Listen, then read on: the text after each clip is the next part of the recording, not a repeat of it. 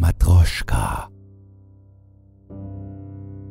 Mareikes kleine Kinderhand lag warm ummantelt in Papas flächiger Pranke, als sie zu zweien über den altstädtischen Frühjahrsrummel schlenderten. Nur der Papa und die Mareike, allein der Gedanke ließ ihre neugierigen Kulleraugen freudig schon erglühen, zumal der Papa es solchermaßen hielt, dass mit ein wenig kindlicher Fantasie kein Unrecht getan ist – und so konnte er sich in die farbenfrohe Welt der pausbäckigen Knirpse also trefflichst hineinversetzen und war ein richtiger, ein alter Geschichtenerzähler. Sobald sich jedoch eine weitere Person in diese Blase begab, verfing sich der Papa nur allzu schnell in schnödem Erwachsenenkram, schraubte an den dümmlichsten Themen herum, tat sich mit Gestalten zusammen, die Mareike anstandshalber durch die Haare wuschelten, und verlor sich auch sonst in Beliebigkeit. Wenn sie aber alleine waren, dann blühte der Papa so richtig auf und begann zu erzählen. Von ehernen Hirschen, die sich mit weit verzweigten Geweihen schlaufend ineinander verkrallen. Von der knochigen alten Hexe, die hoch droben auf der dicht bewaldeten Anhöhe in einer von Sturm und Efeu zerzausten Villa über ihrem brackigen Kessel brütet oder auch von finsteren Geschöpfen in den Schlafzimmern der Kinder, die sich nächtens zwischen Gedanke und Wirklichkeit eine hauchende Form des Daseins in Augenwinkeln ersuchen und wie abgestanden an den Betten stehen. Vor allem also waren es Gruselgeschichten, kreischende Szenarien der Gräueltat, die es Klein Mareike angetan hatten, und sei es nun, da der Papa sie in frühester Kindheit bereits auf zauberhaften Schauder konditioniert hatte, oder aber weil es von Geburt an einfach ihrem Naturell entsprach. Dies mögen an anderer Stelle gerne die erlauchtesten Verhaltensforscher erschließen. Jedenfalls liebte Mareike es über alle Maßen, wenn sie etwas so richtig erschüttern, ihre nach zarten Gehirnwindungen zucken und aufquellen ließ. Als die beiden sich also an diversem Fahrgeschäft Gewinn und Zuckerwatte stand berauscht und der Papa anhand von Schwank und düsterer Erzählung durch den dahingehenden Nachmittag geleitet hatte. Da stießen sie auf einen etwas heruntergekommenen Krämerstand mit morschen Fensterläden und welkem Geblüm,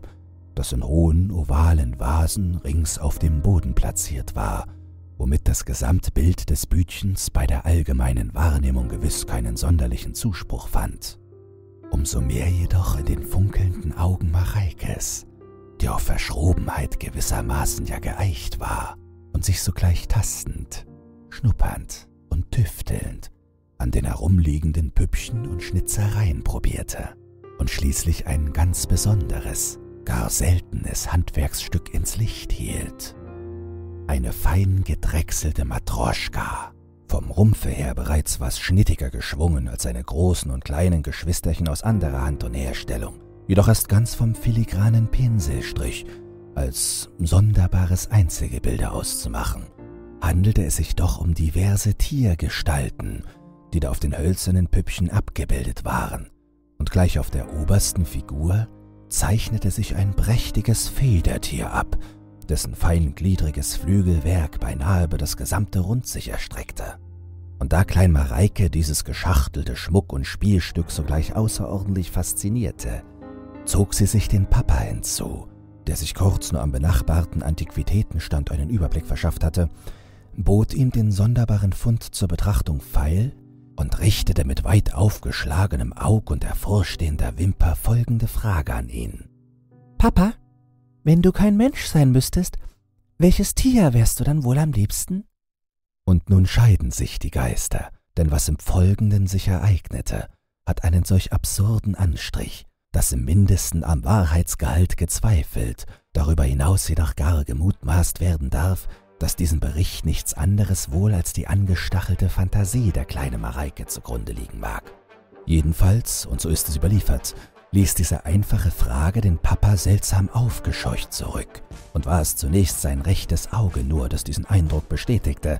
da es willkürlich nun zu zucken begann und, gefolgt von einem kurzen, barschen Aufschrei von weiterem Krampf bereits kündete. Und ob der Papa jenes körperliche Aufbegehren nun zu zügeln oder zur spielerischen Veranschaulichung gar von innen heraus noch weiter zu beschwören suchte, war wahrlich nicht mehr auszumachen, denn ging jetzt alles viel zu schnell, und da hielt er sich die starr zum Hohlraum geformten Hände mit den Fingerkuppen gegen den abgesenkten Kopf, der immer mehr nur nach unten zu sacken drohte, was Schulter und Rücken im Gegenzug buckelig nach oben drückte, und als die rechte Krümmung bald erreicht, da schossen wie zwei silberne Fontänen ihm zwei prächtige Flügelpranken aus den Schulterblättern hervor. Und auch am Rest des Körpers ploppte aus allen Poren schon das bauschige Gefieder, so dass unter diesem hormonellen Schube Hemd und Hose ihm zerplatzten. Doch so schlagartig er auch jene verruchte Vogelgestalt wie aus dem Nichts manifestiert hatte, genauso jäh war sie bereits wieder verflogen, denn fügte es sich, dass im nächsten Moment, wie rings geschleudert aus der Schneekanone,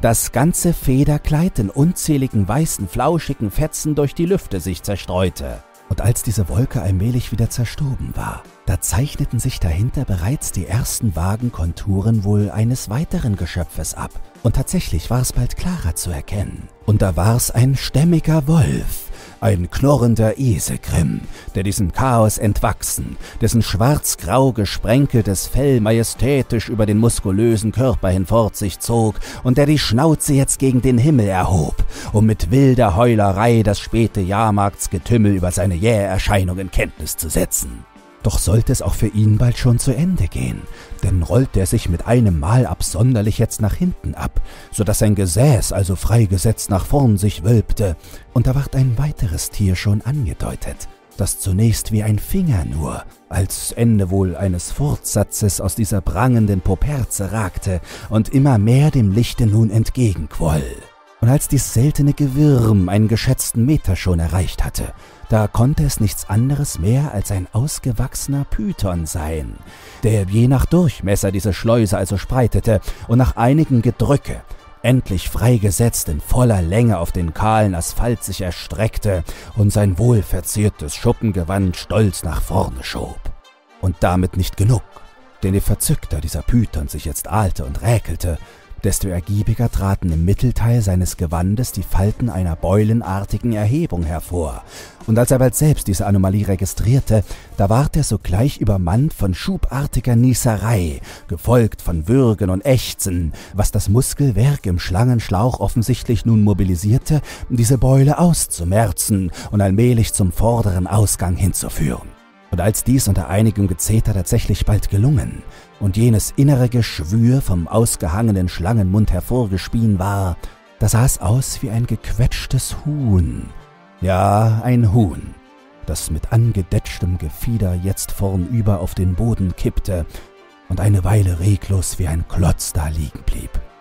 Doch konnte auch jenes Federtier, o oh Wunder, in jenem Zustand der Starre allzu lange nicht verharren, und so tat es also behutsam bald die verklebten Äuglein auf, streckte und schüttelte sich, so dass dem vollgesogenen Federkleid die schwere Tröpfchen weiß entwich, plusterte gebührend sich auf und nahm jetzt die allerseligste Position einer brütenden und damit fromm und fügsam waltenden Legehenne ein. Und was dies putzige Tier einige Augenblicke später bereits hervorgetan hatte, war schlicht ein einfaches Hühnerei, ein bräunliches, ein wohlbeschaltes Oval, an dem noch hie und da ein zartes Büschel Federn hing. Und es war tatsächlich so. Und umso erstaunlicher nur, dass der Papa mit einem Male jetzt, als wären die letzten Minuten gänzlich ohne Werk und Wunder wohl verstrichen, in seiner ursprünglichen Statur und Position vor dem Krämerladen stand und in die geweiteten Pupillen seiner Tochter blickte. Kurz hielt er inne, wobei ihm die Augenbrauen gedankenträchtig niederfielen, zeigte dann aber eine Regung des Verstehens. Und da beugte er sich also vornüber, griff nach jenem Hühnerei, das er gewissermaßen aus ihm selbst letztlich erst entsprungen war. Und als er es nun näher betrachtete, da war es nichts anderes als jene ominöse Tiermatroschka, jene fein gedrechselte Puppenfolge, die Klein Mareike jüngst so überaus fasziniert hatte. Und da er diese nun in den Händen hielt, dachte er noch einmal über ihre jüngst gestellte Frage nach, strich sich durch den zotteligen Bart und brachte ihr dann Folgendes als Antwort endlich entgegen. Wenn ich also ein Tier wäre, mein Kind, dann wäre ich am liebsten jenes, als dass du mich selbst gern sehen würdest, von welchem du am liebsten und am farbenfrohsten zu berichten wüsstest. Wenn ich ein Tier wäre, dann wäre ich jenes Tier, das auch du gern sein würdest. Dieses Video wurde von 100 Dr. Zagota Abonnenten gemäß des Zagota Creepometers freigeschaltet. Nächster Meilenstein 250 Abos. Herzlichen Dank für euren Zuspruch und das fleißige Kommentieren. Falls du neu bist und Lust auf weitere Creepypastas, Horrorklassiker und Hidden Tracks aus eigener Feder hast, dann like dieses Video, abonniere den Kanal und aktiviere die Glocke.